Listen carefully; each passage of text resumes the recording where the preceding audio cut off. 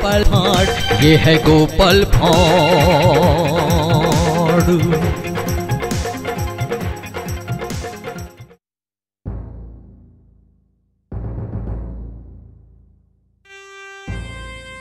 बहुत दिन हो गया है शिकार पे नहीं गया हूँ। जाना चाहिए हमें। जाना चाहिए जाना चाहिए। लेकिन कहाँ से कर पे जाइएगा महाराज? सोच रहा हूँ गंगा की उस पर जो जंगल है वही पे शिकार पे जाऊँगा। तुम लोग क्या कहते हो? हाँ जगह अच्छा है। सुना हूँ शेर भालू नहीं है लेकिन खरगोश हिरन बहुत है वहाँ पे। क्यों गोपाल तुम क्या कहते हो? जैसा आप चाहे महाराज। ठीक है तो अगले हफ़्ते चलते हैं। हाँ हाँ महाराज चलेंगे चलेंगे। कितना देर हो गया? शिकार पे आया हूँ। लेकिन गोपाल कहा है? गोपाल गोपाल। उसे बुलाओ। गोपाल, आ रहा हूँ महाराज। जी बोलिए महाराज। बुलाते बुलाते मेरा गला सूख गया। कहा थे तुम अभी तक वो भाई के साथ में थोड़ा। क्यों गोपाल? तुम रसोई में क्या कर रहे थे? हलवाई के साथ खाना बना रहे थे? जी नहीं, मैं देख रहा था कि रसोई में नमक, मिर्च सब ठीक ठाक है कि नहीं। ठीक है, अब तुम्हें मेरा एक काम कर देना होगा। आज्ञा दीजिए, एक दास को साथ में ले जाकर, तुम पास के गाँव में जाकर खाने पीने का सामान ले आओ, पैसे दीवान जी से ले लेना। इसके लिए दास का क्या ज़रूरत है? मैं खुद जा रहा हूँ। नहीं नहीं ऐसा कैसा हो सकता है? इतना सारे सामान तुम सर पे ले आओगे। मेरा तो बेइज्जती हो जाएगा। गोपाल तुम ये कभी सोचे हो?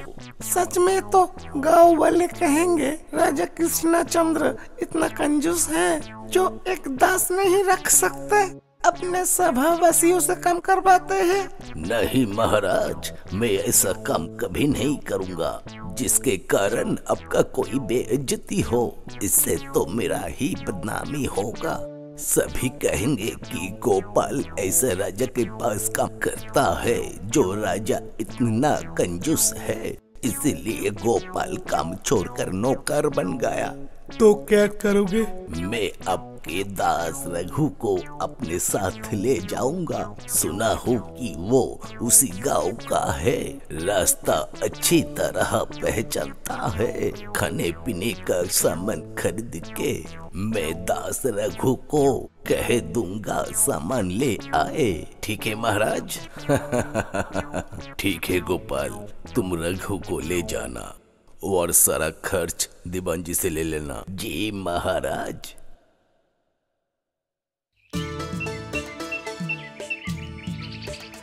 रघु, आज तो खाना बहुत स्वादिष्ट बनेगा। पेट भर के खाएँगे, है ना रघु? आप ठीक बोल रहे हैं आज पेट भर के खाएँगे। हाँ हाँ रघु जल्दी चल जल्दी चल वरना बाज़ार बंद हो जाएगा रघु। हाँ हाँ चलिए चलिए।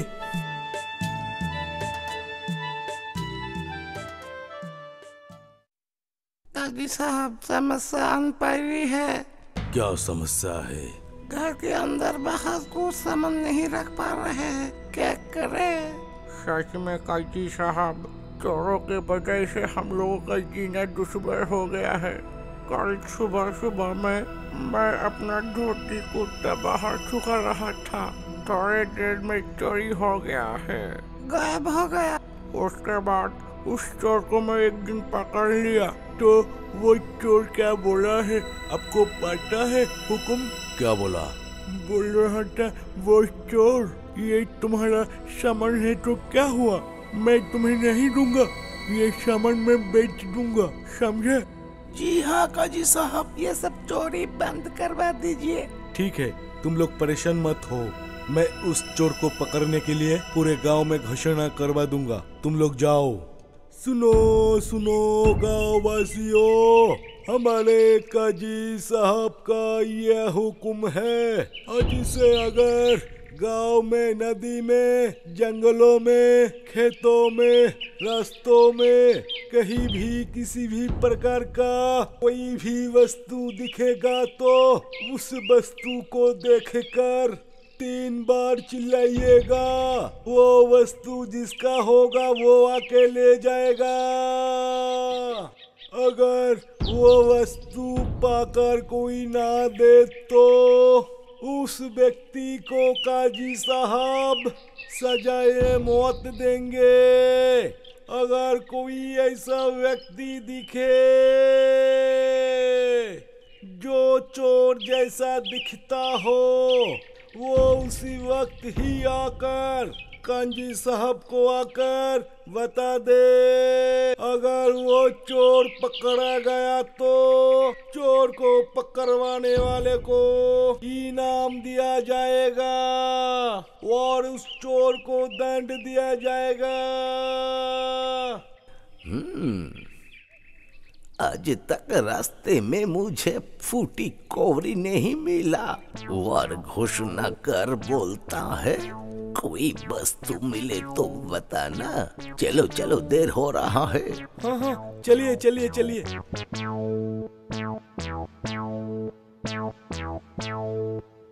अरे ये क्या है? हाँ। वो रहा उस घास के अंदर कुछ है। कुछ तो है उस घास में। चलो चलकर देखते हैं। हाँ हाँ चलिए चलिए देखते हैं। ये तो एक अंगूठी है। वो भी नग लगा हुआ। किसी सुनार को दिखाना पड़ेगा। तुम्हारे जान पहचान का कोई सुनार है? हाँ है। मेरा बचपन का दोस्त नाम रतन सेन। चलिए चलते हैं उसके पास। नहीं नहीं अभी नहीं आज शाम को। तब तक ये अंगूठी मेरे पास रहने दो। अगर ये अंगूठी कीमती है तो इसका आधा कीमत तुम लेना और आधा मैं। हाँ हाँ मैं तैयार हूँ तैयार हूँ। तो आज शाम को तुम हमें बुलाना समझे? ठीक है। ठीक है ठीक है। अब जल्दी चल कुछ नहीं मिलेगा इस बाज़ार में।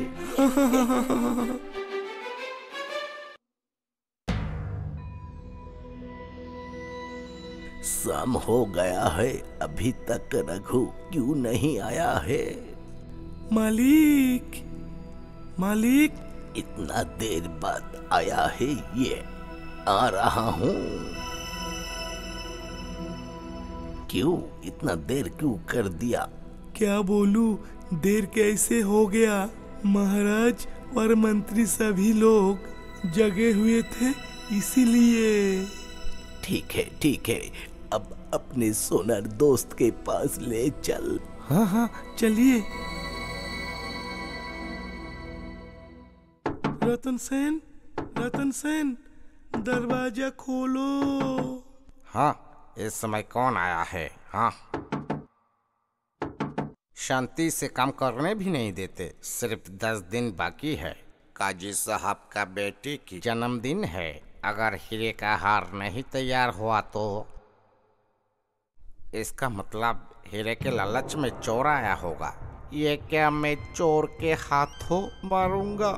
नहीं नहीं नहीं। क्या कर दोस्त दोस्त वो दोस्त रतन सेन। कौन? मैं रघु दरवाज़ा खोल। अच्छा दोस्त रुको मैं आ रहा हूँ। आ आ आ अंदर आ। आइए आइए अंदर आइए। तो फिर रघु इतने रात को कैसे? साथ में ये कौन है? अरे इन्हें नहीं पहचानते हो? ये कृष्णचंद्र राजा के विदूषक है। ये बहुत ज्ञानी है। इनके बारे में तुमको बहुत बार मैं बोला हूँ। हाँ हाँ याद है याद है। आपके बारे में मैं रघु से बहुत कुछ सुना हूँ। आज देख भी लिया। बोलिए क्या सेवा करूँ आपका? रतन सेन इस अंगूठी को देखो। हम्म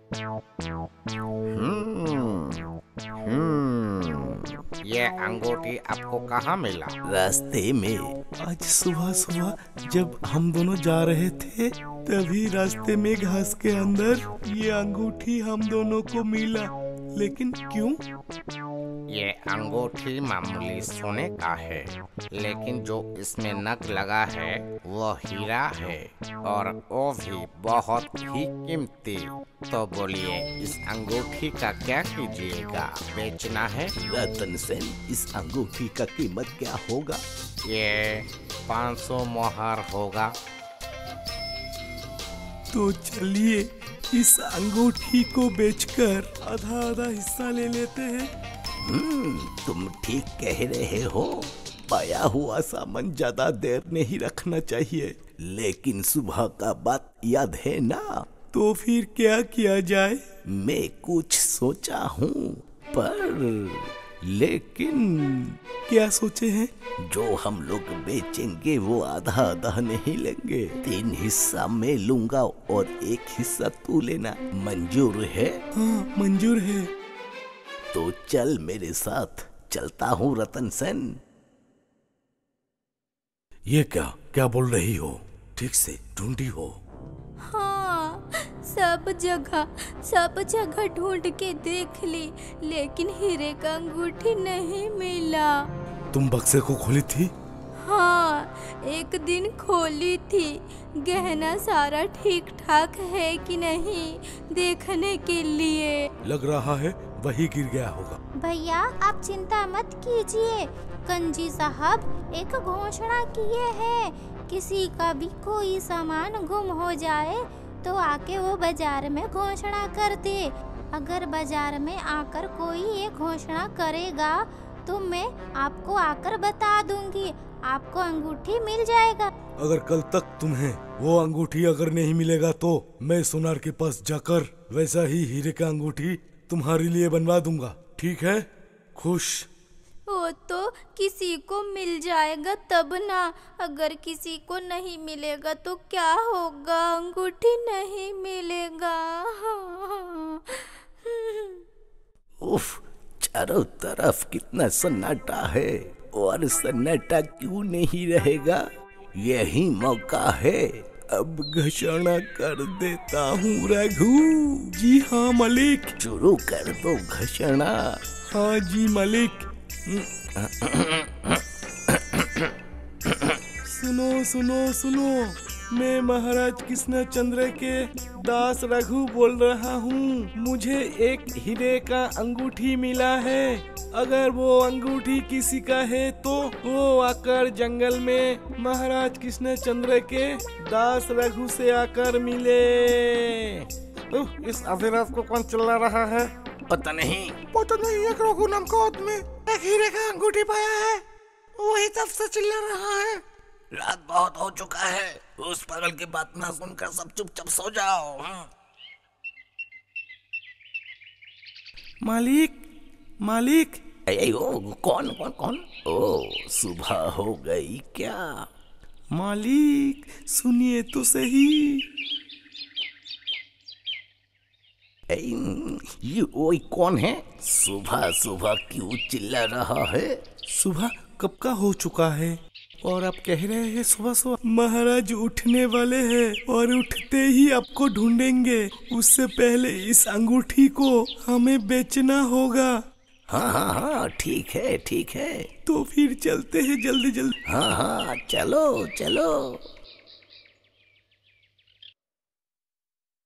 ये अंगूठी देखिए। कितने का है? ये सिर्फ़ 200 मोहर का है। नहीं नहीं इससे महँगा हीरे की अंगूठी दिखाओ। हम्म, है। ये ये ये है 300 मोहर का है। हम्म आओ रघु आओ बैठो बैठो। सब कुछ ठीक है ना? हाँ हाँ ठीक है। ये लो अंगूठी। अरे ये तो मेरा अंगूठी है। ये मेरा अंगूठी है। तुम भगवान का कसम खा के बोलो तो ये अंगूठी कहाँ पाए हो? ये मैं आपको क्यों बताऊँ? ओए ओए तू कौन है? बीच में क्यों बोल रहा है हाँ? वो मेरे मालिक हैं। इसलिए ज़्यादा बोल रहा है। अच्छा ये अंगूठी आपका है क्या सबूत है? उस अंगूठी पे मेरा नाम लिखा हुआ है। देखो इनकी बातें सच है कि नहीं? हाँ सच है। तो फिर मेरी पत्नी की अंगूठी दे दो। बदले में मैं तुम्हें कुछ पैसे दे दूँगा। जी नहीं। इस गाँव में कहा गया था जो कोई कुछ भी पाए तो तीन बार घोषणा करे कोई ना सुने तो उसका हो गया क्या चोरी करके शर्त रखते हो मार खाओगे क्या आँखें मत दिखाओ मुझे आँखें निकल लूँगा मैं शैतान छोटे मुँह बड़ा बात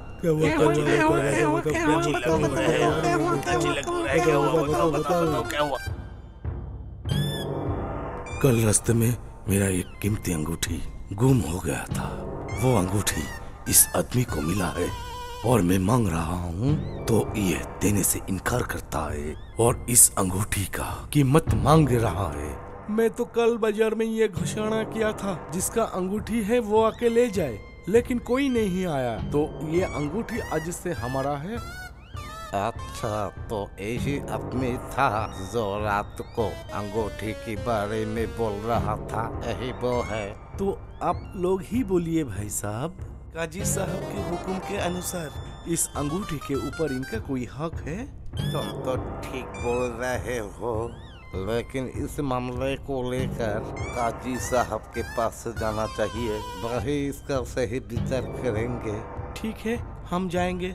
लेकिन तुम्हें भी जाना पड़ेगा। सबूत देने साथ में। जाऊँगा ज़रूर जाऊँगा लेकिन तुम कौन हो भाई? मैं ही तो हूँ वो रघु अच्छा अच्छा अब मैं समझा। तो देर किस बात की? चलो काजी के पास। चलो। हाँ। सब सुन लिया मैं। तो रघु मैं तुमसे कुछ सवाल पूछूँगा। सही जवाब देना तुम। ज़रूर दूँगा साहब। अच्छा ये बताओ तुम कल आधी रात को अंगूठी के बारे में क्यों घोषणा किए? तुम्हें क्या यह नहीं पता था कि आधी रात को तुम्हारा घोषणा सुनने के लिए कोई नहीं रहेगा? जी कंजी साहब मुझे पता था तो तुम जानकर भी ऐसा क्यों किए हो? बोलो। जी वो कोई गलती नहीं किया है, क्योंकि आपका ये कहना था, कोई भी वस्तु अगर रास्ते में मिले तो वो व्यक्ति उस वस्तु को लेकर बाज़ार में जाकर ये घोषणा करे। अगर ये सुनकर कोई भी व्यक्ति अगर ये कहे कि वो वस्तु मेरा है तो उसे दे देना। अगर कोई ना आए तो वो वस्तु उस व्यक्ति का हो जाएगा। लेकिन काजी साहब, आप तो समय नहीं बोले थे। घोषणा करने का। कृष्ण चंद्र महाराज जंगलों में आए हैं शिकार के लिए। इसीलिए रघु को बहुत सा काम रहता है। खाना पकड़ना सबका देखभाल करना, इसीलिए रघु को समय नहीं मिला था। काजी साहब इसलिए रघु रात को घोषणा किया। आपको ये सबूत देंगे। हाँ काजी साहब। रघु सच बोल रहा है। कल रात में रघु अंगूठी के बारे में घोषणा किया था। मैं सुना था। और हाँ कंजी साहब इतना ही नहीं। पूरा रात इंतज़ार करने के बाद रघु इस अंगूठी को सोनार के पास बेचने आया। तो आप बताइए रघु का क्या गलती है? हम्म इसमें गलती रघु का नहीं है। गलती है तो मेरा है। मुझे घोषणा का वक्त बता देना चाहिए था। तो मैं अपनी गलती को सुधारूँगा। बताओ, तुम्हारे अंगूठी का क्या कीमत था? जी, पाँच सौ मोहर कंजी साहब। रघु ये लो पाँच सौ मोहर अब उनका अंगूठी उन्हें दे दो। जी कंजी साहब मालिक ये लीजिए मोहर का थैला। हम्म, दो दो दो। हम्म, हम्म, ये लो भाई तुम्हारा अंगूठी। रघु तुम इसे क्यों मोहर दे दिए? ये तुम्हारा कौन है? बताओ। ये मेरा साहब है मेरे कर्मदाता। उनका नाम क्या है? महाराज कृष्णचंद्र। ये हम्म, जी नहीं महाराज कृष्ण चंद्र के तीन सेवक है। उनके सभा का विदूषक गोपाल हूँ। हाँ? अच्छा इसीलिए हाँ? मेरे विचार से बड़ा विचार किए। तुम कोई मामूली नहीं हो। ठीक है मैं भी देखता हूँ। मेरे सवालों का तुम क्या जवाब देते हो? तो फिर आप अपना सवाल बताइए तब तक मैं चलता हूँ चल रखू हाँ हाँ हाँ चलिए चलिए चलिए। पहरी पहरी। सुनो सुनो सुनो। काजी साहब जो लागू किए थे उसे थोड़ा बदल दिया जाएगा।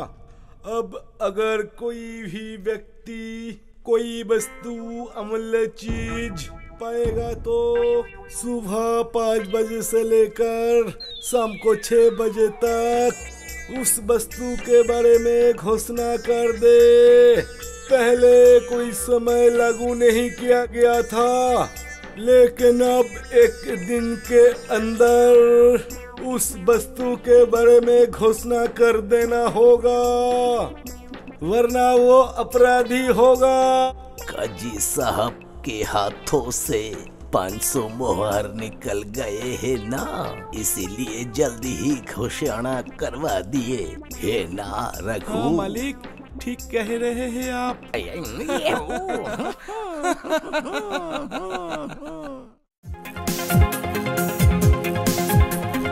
कौन किसको टोपी देता? कौन किसको धोखा देता? हम्म, कौन चोर कौन है साधु? कौन है सच्चा कौन है झूठा?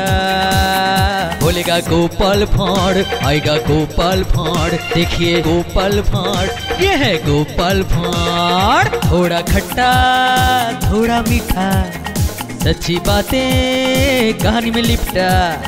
खुशियों की सौगत लेकर हँसी का तोहफा। बोलेगा, गोपाल फाड़ आएगा गोपाल फाड़ देखिए गोपाल फाड़ ये है गोपाल फाड़ ऐसा चरित्र बड़ा ही विचित्र, ठुमक ठुमक कर कर देखो नृत्य। ऐसा चरित्र। कानों से सुनो जरा छुप छाप सोचो जरा, आँखों से देखो जरा। बोलेगा गोपाल फाड़ आएगा गोपाल फाड़ देखिए गोपाल फाड़ ये है गोपाल फाड़ बोलेगा गोपाल फाड़ आएगा गोपाल फाड़ देखिए गोपाल फाड़ ये है गोपाल फाड़